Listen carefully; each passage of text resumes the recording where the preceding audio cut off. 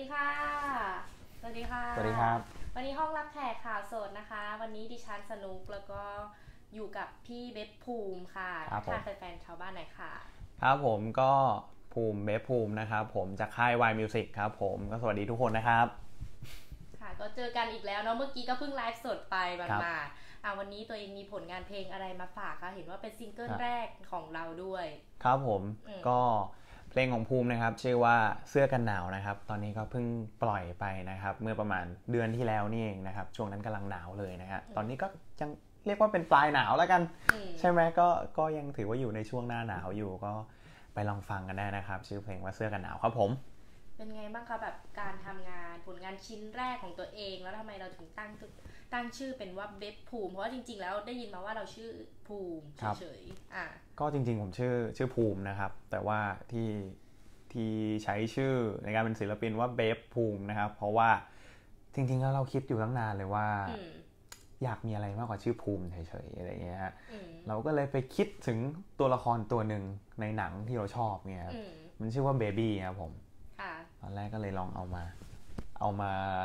เอาไว้ข้างหน้าภูมิแล้วกัน เอ้ย จะดีไหมดีไหมอืมเบบี้ภูมิเบบี้ภูมิเบบี้พูดไปพูดมาเป็นเบฟภูมิเลยครับผม ก็เลยใช้ชื่อเบฟภูมิมาตั้งแต่ตอนนั้นอะเป็นไงมาคะแบบจากค่ายวายวายมิวสิกเขาเอาครับผเรามมาทำเพลงตรงนี้ได้ยังไง เริ่มเล่าถึงที่มาที่ไปหน่อยครับ ก็จริงๆ จริง ๆ ภูมิก็เป็นนักศึกษาทั่วไปเนี่ยแหละอืมที่ที่ชอบร้องเพลงอืมเป็นเรื่องปกติอยู่แล้วก็คือ แต่ก่อนก็ไม่ได้ไม่ได้มีผลงานอะไรจนจนกระทั่งมาประกวดรายการร้องเพลงรายการหนึ่งดีกว่าอืมครับผมแล้วได้ได้โอกาสเข้าไปอยู่ในทีมของพี่พี่แพรวคณิตกุลนะครับอืมครับ แล้วก็อันนี้อันนี้บอกชื่อรายการได้ไหมคะบอกบอกได้ใช่ไหมครับค่ะบอกได้ถ้าบบออกกได้ได้รายการร้องล่าคู่ครับ จากช่องวันสามสิบเอ็ดครับผม ก็ในตัวเมนเทอร์ก็จะมีพี่แพรวคณิตกุลมีพี่แกงส้มธนทัศน์อืม แล้วก็มีพี่หนึ่ง ETC ครับผมค่ะก็ตอนนั้นก็เราไม่ได้คาดหวังว่าจบรายการมาจะเป็นยังไงนะครับก็คือแข่งแข่งแข่งแข่งเราได้เข้าไปสู่รอบรองชนะเลิศครับอืมของในในกลุ่มอะไรเงี้ยครับ ก็ตอนนั้นก็ถือว่าผลงานก็โอเคก็ก็ก็มีคนตามมาบ้างจากในรายการอะไรเงี้ยครับอืมแต่ว่าจบมาเราก็ไม่ได้คิดว่าเราจะได้โอกาสอะไรจนกระทั่งได้เจอกับผู้ใหญ่มากขึ้นอะไรเงี้ยครับ มีผู้ใหญ่ติดต่อเข้ามาคุยว่าแบบ เอออยากอยากให้ลองมามาร้องเพลงให้ฟังหน่อยอะไรเงี้ยครับ ตอนนี้พี่พี่มิ้น ETC ครับเขากำลังทำค่ายอยู่ชื่อว่า Y Music อะไรเงี้ยครับอืมตอนแรกเราก็ไม่รู้นะเราเราเราก็ไม่ได้คิดว่าเราจะได้เป็นศิลปินจริง ๆอะไรเงี้ยครับ เราก็ไปไปไปไปตามเข้าไปอะไรเงี้ยครับอืมสรุปว่า เอ้ย สรุปเขาชอบได้จริงก็อะกลายเป็นได้ขึ้นมาแล้วว่า เอ้ยอ้าวนี่เราได้เป็นศิลปินอะอะไรแล้วเงี้ยแม่ว่าไงบ้าง ก็แม่ก็น่าจะช็อกอยู่ในไลฟ์อยู่ตอนนี้นะ แม่ก็คงไม่ได้คิดเหมือนกันว่าผมจะมาได้มามาโปรโมทมาเดินสายไปเล่นดนตรีอะไรเงี้ยครับ จริงๆจริง ๆ ที่ไปออกรายการก็แค่แค่ให้ที่บ้านได้เห็นแบบโอ้ยลูกฉันออกทีวี ไปคุยกับข้างบ้าน เอ้ย นี่ลูกฉันลูกฉันอะไรอย่างงี้อืมแค่นั้นเอง จริง ๆ แค่นั้นความตั้งใจตอนแรกคือแค่นั้นครับ แต่ว่าตอนนี้มันก็ เออก็ มันก็อืมมันก็หันกลับไปแบบเออเออ มันมายังไงก็อันนี้ก็ยังไม่รู้เหมือนกันครับ แต่ส่วนตัวเราเล่นกีตาร์อยู่แล้ว เราเราเป็นคนเล่นดนตรีอยู่แล้ว จริง ๆ เล่นกีตาร์เล่นเล่นโฟล์กก็ก็ไม่ได้เล่นกีตาร์เก่งมาก แต่ว่าจะเอากีตาร์ไว้ไว้เขียนเพลงเลยครับจริง ๆ ผมชอบเขียนเพลงเป็นทุนเดิมอยู่แล้วครับ ก็คือเราจะแกะเพลงเองอะไรเลย ใช่ครับก็คือหลักๆก็จะชอบแต่งเพลงครับร้องอ่าร้องเพลงนี่ก็คือพอๆกันอะไรเงี้ยก็ควบคู่กันมาเรื่อยๆครับ เรากลับไปที่เพลงเสื้อกันหนาวกันต่อ ได้อัครับนี้เราวางเราวางโปรเจกต์กันไงกับพี่มินค่ะว่าให้เพลงนี้ครับเอ่อเป็นเพลงแนวรักๆใช่ไหม มันจะเรียกว่าเป็นเพลงรักก็ได้ เนื้อหาเกี่ยวกับอะไร เนื้อเนื้อหาหลักๆจะเป็นเรื่องของการ move on ครับอืมการ move on ในที่นี้คือการการที่เราจะเดินจากใครสักคนมาที่ เราอาจจะไม่ได้มีโอกาสได้ดูแลเขาแล้วอะไรเงี้ยครับสุดท้ายนั่งคิดกันไปคิดกันมากับพี่โปรดิวเซอร์อาจจะมีพี่โก้อีกคนหนึ่งอืมแล้วก็มีพี่มิ้นท์นะครับที่ที่ช่วยกันทำเพลงนี้ออกมาครับ ซึ่งสุดท้ายคิดไปคิดมา เอ้ย ใช้คำว่าคิดถึงดีกว่าอืมคิดถึงในที่นี้คือการที่เออต่อให้เราจะ move on ออกมาจากเขาแล้วไงครับ แต่เราก็ยังขอแค่ได้คิดถึงเขาในฐานะอะไรก็ได้ แบบ สถานที่ที่เราเคยไปด้วยกัน หรือที่ไหนที่เราเคยสัญญาว่าจะไปด้วยกันแต่แบบเอ้ยวันนี้เรามาคนเดียวแล้วนะ มันก็เป็นเป็นความรู้สึกที่กากระอ่วนเหมือนกันนะ มันก็คงคิดถึงแหละเนาะเป็นเพลงช้าเพลงเศร้าเป็นเนาะเพลงเศร้าใช่ใช่คำว่าเพอันลงนี้เศเราร้าได้นะมีส่วนร่วมแต่งเองด้วยไหมเพลงเศร้าๆเนี้ย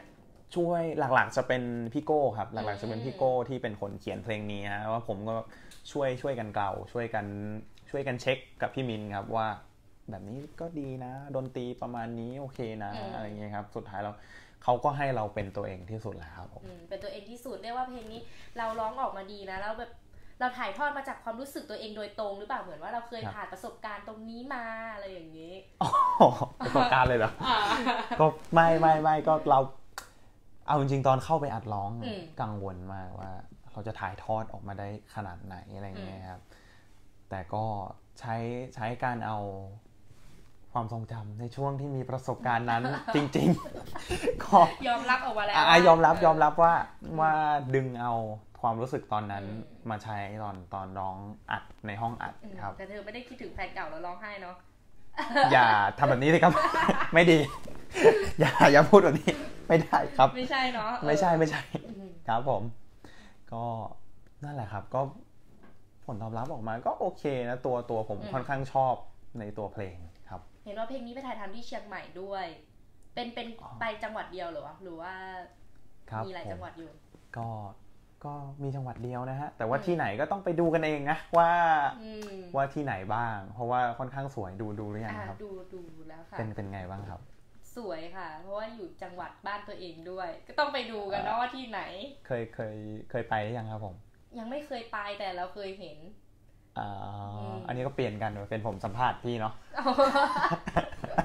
ล้อเล่นครับ ค่ะ แล้วเราไปเอานางเอกเอ็มบีมายังไงคะเราแบบต้องบอกว่าอืมนางเอกเนี่ยได้ความความโชคดีมากๆนะครับอืมที่ได้ผู้จัดการของเรานะครับอืมไปติดต่อมาค่ะไปติดต่อมายังไงไปหลอกล่อน้องเข้ามายังไงก็ไม่รู้นะครับอืมผมแต่ว่าโหรู้สึกโชคดีมากที่ได้น้องเข้ามาว่าตอนนี้น้องเขามีกระแสว่า น้องเขาหน้าเหมือนแบ็คพิงค์อะไม่รู้กระแสมาจากไหนก็ไม่รู้แต่ว่าเข้าไปดูแล้วน้องว่าหน้าตายังไง ใช่ครับถืเหอมือนเหมือนใครคะในแบ็คพิงอะต้องบอกว่าเหมือนใคร เหมือนใครนะผู้จัดการอ่าเอาเป็นว่าข้ามมันไปก็ได้ครับอ๋อข้ามมันไปต้องไปดูกันเองว่าเหมือนใครอ่เพราะว่าผมก็จำจำไม่ได้เหเจมือนนกันนี่อ่าเจนนี่เออะอเหมือนเจนนี่แบ็คครับพิงใช่ครับ แล้วอย่างตัวเราอะแบบก็อยู่ใน MV ด้วยเราครับในช่วงที่ถ่ายทำเราได้ดูน้องเขาแสดงอะไรอย่างนี้ด้วยไหมเรา ดูครับอยู่ข้างๆกันตลอดเลยครับอืมเพราะว่าไปไหนมาไหนเนี่ยผมก็ผมก็ตามไปเอ่อควบคุมในในส่วนของ MV ด้วยก็ไปช่วยเหลือเขาด้วยอะไรเงี้ยครับเพราะว่าเราจบทางด้านภาพยนตร์มา เราก็ไปช่วยเขาออกกองช่วยสเขาบายเลยดิแล้วอย่างเวลาเราไม่สบายนะคเรารับเรา acting ตอนร้องไปด้วยอะไรอินไปด้วยนี่เราต้องแบบเราใช้เราครับ เรามีมุมมองยังไงแบบต้องทำหน้ายังไงในเวลาที่เราร้องเพลงอะไรอยากย่างคเงี้รัยบยากมากยากครับใช่ไหมยากมากครับเออเพราะว่าจริง ๆแล้วเด็กเด็กที่เรียนภาพยนตร์น่าจะรู้ว่าแบบแต่ก่อนเราเป็นเบื้องหลังมาตลอดเลยอืมเราจะทำได้แค่สั่งเขาแบบ เอ้ยทำหน้างี้ดิทำหน้างี้นักแสดงต้องทำหน้างี้ แต่พอมาอยู่หน้ากล้องเองจริงๆอะเรากลายเป็นเกรงกลายเป็นแบบรู้สึกแบบเอ้ยไม่เป็นตัวเองเลยเราไปอยู่หลังกล้องดีกว่า เราอยู่กับกีตาร์ของเราดีกว่าอะไรเงี้ยแบบ มันจะมีความกังวลอยู่ตลอด แล้วตอนนี้เลยเริ่มชินยัง ไม่ครับ เห็นว่าจะมีโปรเจกต์ต่อไปแล้วด้วยใช่ไหมครับผมเออถามว่าเรามีเพลงอยู่ในมือแล้วด้วยไหมคะ ยังครับ แต่ว่าตอนนี้คิดเขาใจไปก่อนคือมี plan แล้ว แต่ตอนนี้ผู้ใหญ่อนุมัติแล้วว่าว่าเดี๋ยวมีเพลงสองแน่นอนครับผมอะเราคาดหวังนะคะหลังจากที่เราเป็นศิลปินใหม่แล้วครับ ในความสำเร็จเนี้ย คาดคาดหวังไหมอืมในความสำเร็จนี้ เอาจริงแค่แค่ได้มีโอกาสมาทำเพลงเนี่ยครับผมรู้สึกว่าผมสมหวังแล้ว ผมรู้สึกผม happy แล้ว เพราะว่ายังปล่อยมาเดือนนึงไงฮะยังไม่ได้โปรโมทก็ตอนนี้มีคนฟังอยู่ประมาณสามหมื่นกว่าคนสี่หมื่นกว่าอะไรเงี้ยผมผมแม่ก็ช็อกแล้วเนาะแม่ก็ช็อกแล้ว เอาจริงเอาจริงนะครับพี่เออสามสี่หมื่นมันอาจจะยังไม่เยอะหรอกในอืมในเพลงสมัยนี้นะครับแต่ว่าอืมแต่ว่าผมรู้สึกว่า สำหรับผมมันน่าทึ่งมากเลย เพราะว่าอืมจากแบบจากศูนย์เลยผมไม่ไม่เคยคิดจะได้มีโอกาสเป็นศิลปินอะไรเงี้ยครับอืมแล้ววันหนึ่งมีเพลงของตัวเองออกมา แล้วมีคนฟังขนาดนี้ผมผมถือว่ามันเป็นจุดเริ่มต้นที่ผมมีความสุข แล้วก็เป็นเป็นกำไรให้ผมมากๆเลยเพราะจริงๆก็คาดหวังแค่อยากทำเพลงเฉยๆอะไรเงี้ยครับพูดมาถึงขนาดนี้แล้วครับเราต้องโชว์ฝีมือแล้วล่ะครับ มีไหมเนี่ยอะต้องร้องต้อ๋องอร้องโอเคโอเคแล้วโอก็เคดีดกีตาร์ด้วยครับอ่าได้วันนี้ต้ได้องโชว์ได้เพลงครับเสื้อกันหนาวเนาะครับได้เดี๋ยวผมดีดกีตาร์พี่ร้องเนาะเริ่มร้องไม่ได้ ฟังหรือยังไปฟังหรือยังพี่ไปฟังหรือยังฟังแล้เดี๋ยววฟังฟังมาแล้วเนาะเอาเลยไหมครับ อะเริ่มเลยค่ะโอเค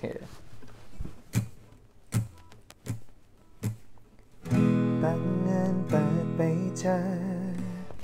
เสื้อกันหนาวของเธอรู้ สึกเหมือนฉันได้เจอกับเธออีกครั้ง ฉันคิดถึงช่วงเวลาที่เราเคยใช้ ถ้าฉันรู้คงจะดีกว่าที่ทำไว้ ยังมีเรื่องราวตั้งหลายอย่างที่ค้างใจ อุ่นที่เธอนั้นเคยกอดกลิ่นหอมเธอยังไม่ไปไหนมัน ย้อนพากลับไปเมื่อแรกพบที่เราได้สบสายตาของเธอที่เป็นประกายยังจำมันได้ขึ้นใจ แค่คิดถึงอยู่เสมอ แค่จากนี้ แค่ตลอด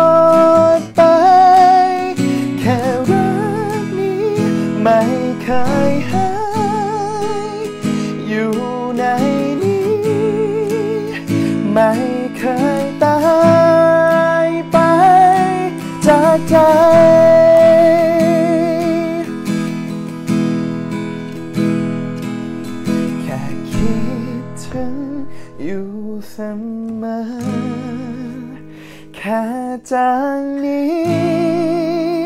แค่ตลอดไป แค่รักนี้ไม่เคยหายอยู่ในนี้ ไม่เคยตาย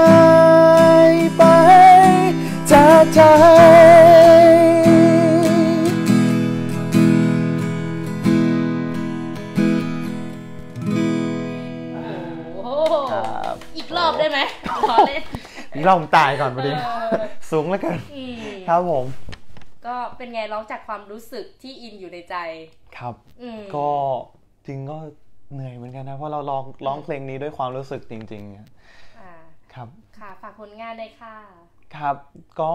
ฝากเพลงที่ได้ฟังไปเมื่อสักครู่นะครับ เพลงนี้ชื่อว่าเสื้อกันหนาวนะครับ จากเบฟภูมินะครับ ก็จาก Y Music ครับผมก็สามารถไป search ได้นะครับ ทั้งในสตรีมมิ่งเพลงทุกช่องทางเลยนะครับ แล้วก็ใน YouTube นะฮะ search ว่าเสื้อกันหนาวครับ เว้นวรรคว่า B A B E P O O M นะครับผม Babepoom ครับ ส่วนใครที่อยากจะเข้ามาคุยกันนะครับ เข้ามาให้กำลังใจกันนะครับ ก็แนะนำเป็นทาง Instagram ครับผม ชื่อว่า Babepoom เนี่ยแหละครับ แล้วก็ต่อท้ายด้วย 29 ครับผมก็ยังไงฝากเพลงนี้ด้วยนะครับ ค่ะฝากเพลงนี้ด้วยนะคะ ขอให้ไปได้ไกลๆค่ะเพราะเสียงอันนี้คือไล่เปล่าเปล่าที่อวยพรอยู่อ๋ออวยพรอยู่อะอะผมใช่อะผมไหว้ใช่ไหว้แล้ว